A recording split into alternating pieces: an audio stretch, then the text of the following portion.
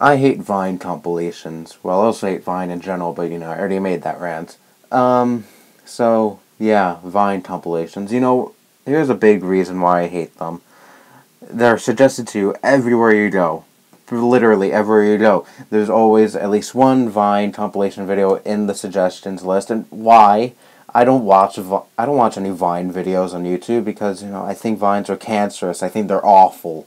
You know the memes they spawn are just utter garbage. You know again I already made a rant on that, and um, also, you know it's really annoying how these people can't you know can't get views of the fair way. They have to put these catchy titles and the fake thumbnails with the you know half naked women on them that are most likely not even in the video and you know they make all this money and off of it and you know it really sucks because you know most of the times these people uh, these vine these people who make vine compilations none of these vines are theirs they just take it they just think you know oh these vines are popular how about i put them in uh, how about I put them in this compilation and you know gain a whole bunch of views, get all this money off of stuff I didn't even make?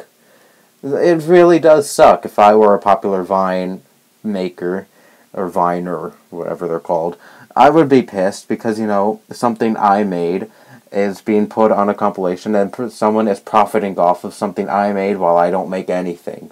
And it's really scummy. I really hope YouTube does something about it, but, you know, they're not going to do anything about it. We could all dream, but, you know, YouTube is YouTube. They just want the money, and, you know, they know these Vine compilations draw in a lot of views and a lot of people viewing advertisements. And again, it's it really sucks. You know, all these people are getting pretty much no credit for for their vines being put in these compilations, and people are actually gaining off of it. It really sucks.